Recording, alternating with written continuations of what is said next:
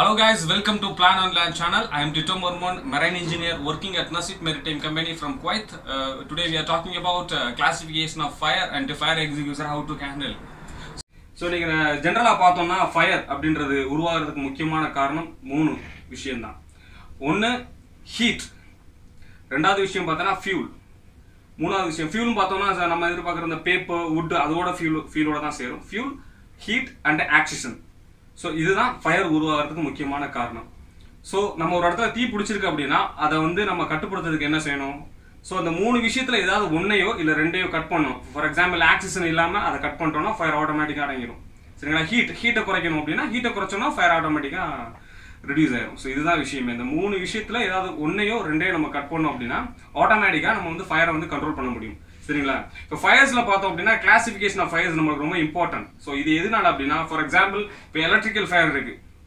மின்சாரத்தில் மின்சாரத்தில் வந்து ஃபயர் ஆயிருக்கு அப்படின்றப்போ நம்ம அதில் தண்ணியில் ஊற்றிட்டோம்னா நம்மளுக்கு எலக்ட்ரிக் ஷாக் அடிச்சிடும் ஸோ அதனால கிளாசிஃபிகேஷன் ஆஃப் ஃபயர் வந்து ரொம்ப இம்பார்ட்டன்ட் ஸோ அதை எப்படி பிரிப்பாங்க அப்படின்னா A B C D and K so இந்த மாதிரி அஞ்சு டைப்பில் எடுப்பாங்க. சரிங்களா?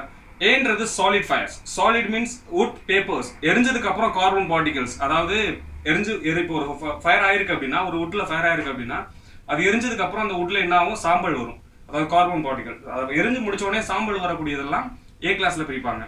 பீன்றது பார்த்தீங்கன்னா liquid fires liquid fires means what is a liquid diesel I mean petrol and then oil அந்த ஆயில் கிளா அது எல்லாமே பார்த்தீங்கன்னா லிக்யூட்ல வரும். ஃப்ளேமபிள் லிக்யூட் அப்படின்னு சொல்லலாம். சி கிளாஸ் பார்த்தோம் அப்படின்னா இப்போ சி கிளாஸ் பார்த்தோம் அப்படின்றப்போ electrical fire C classification of ஃபயரில் வந்து சி வந்து எலக்ட்ரிக்கல் ஃபயரில் வரும். அண்ட் தென் வந்து டி டி பார்த்தோம்னா மெட்டல் ஃபயர் வரும்.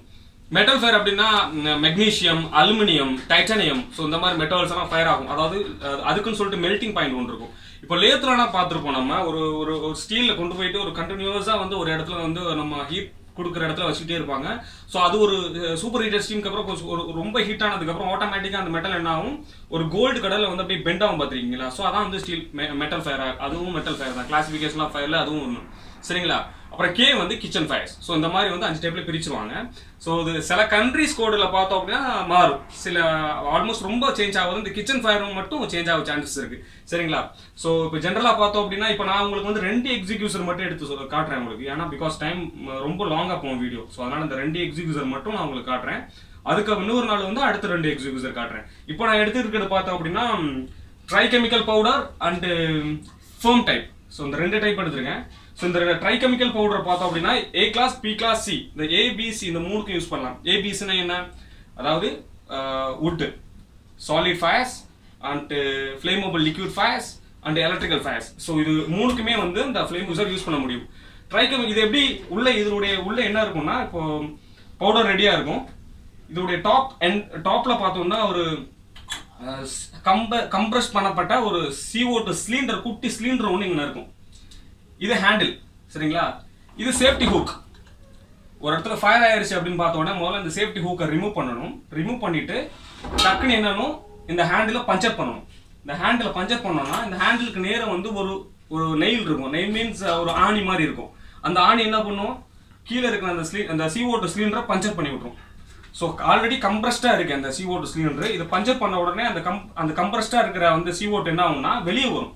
வெளியே வந்து இதை ப்ரெஸ் பண்ணும் இந்த சிலிண்டருக்குள்ளேயே வந்து ப்ரெஸ் பண்ணும். அந்த ப்ரெஸ் பண்ண உடனே அந்த அடர்த்தியில் என்ன ஆகும்னா கீழே இருக்கிற அந்த பவுடர் ட்ரை கெமிக்கல் பவுடர் ஆட்டோமேட்டிக்காக இந்த ஹோஸ் வழியாக வெளியே வந்துடும் சரிங்களா?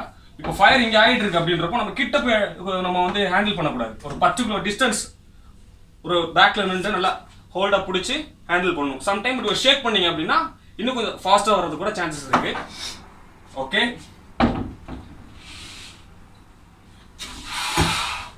இது ஃபேம் டைப் இந்த ஃபேம் டைப் பார்த்தோம்னா ஏ கிளாஸ் ஃபயர்ஸ்ல இருந்து இதே மாதிரி இதுக்கு யூஸ் பண்ணலாம். மஸ்ட் பி இதுக்கு அதிகமாக யூஸ் பண்றது வந்து ஆயில் ஃபயர்ஸ் ஆயில் ஃபயர்ஸ்க்கு வந்து அதிகமாக யூஸ் பண்ணலாம் இது. ஆயில் ஃபயர்ஸ்க்கு ரொம்ப ஒரு எஃபெக்டிவான ஒரு ஒரு ஃபயர் இது ஆயில வந்து அதிகமாக ஆயில் ஃபயர்ல வந்து ரொம்ப ஒரு டிஃபால்ட் என்னன்னு பார்த்தோம்னா சில பேர் தண்ணியில ஊற்றி விட்டுருவாங்க. ஆயிலில் வந்து தண்ணி ஊற்றவே கூடாது. ஆயிலையும் எலக்ட்ரிக்கல் ஃபயர்லையும் தண்ணி ஊற்றவே கூடாது. தண்ணியை நம்ம எடுத்து போட்டோம் அப்படின்றப்போ அது இன்னும் கொஞ்சம் அதிகமாயிரும். ஃபயர் அதிகமாக எரிய ஆரம்பிச்சிடும் ஸோ ஃபோம் டைப் வந்து ஆயில் ஃபயருக்கு ரொம்ப ஒரு யூசேஜான ஒரு விஷயம். ஃபோமில் இன்னும் ஒரு காம்ப்ளிகேட்டட் என்னன்னா நம்ம வந்து ஹோஸை கையில் பிடிக்கக்கூடாது. ஹோஸை கையில் பிடிச்சோம். ஏன்னா ஃபோம் வெளியே வர்றப்போ எத்தனை டிகிரியில் வரும்? மைனஸில் வரும். இப்போ நம்ம அந்த சேஃப்டி ஊக்கை இதே மாதிரி தான் சேம் ப்ரொசீஜர் ரிமூவ் பண்ணிடணும் சேஃப்டி ஊக்கை ஹேண்டில் பஞ்சர் பண்ணோன்னா உள்ள சிஓட்டு சிலிண்டர் இருக்கும். சிஓட்டு வெளியே வரும். ஃபோம் வெளியே வரும். ஃபோம்னா நம்ம சேவிங் லோஷன் இருக்குல்ல? நம்ம ஜில்லட் சேவிங் லோஷன் ஸோ அதே மாதிரி தான் இருக்கும் ஃபோம் ஸோ நம்ம பஞ்சர் பண்ண உடனே வரும். இதை கையில் பிடிக்கவே கூடாது ஹோஸை மட்டும்.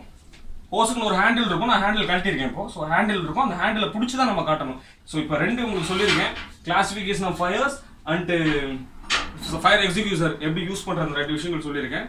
இன்னும் கிளியராக கிளாஸிஃபிகேஷன் ஆஃப் ஃபயரை திரும்பவும் இன்னொரு சிஓடி எக்ஸிக்யூசர் ஒன்று இருக்கு. இந்த சிஓடி எக்ஸிக்யூசர் ஸ்பெஷலாக அதுக்கும் ஒரு வீடியோ சேர்த்து போடுறேன். ஓ சைனிங் ஆஃப் டிட்டோ மர்மோ தேங்க்யூ வெரி மச்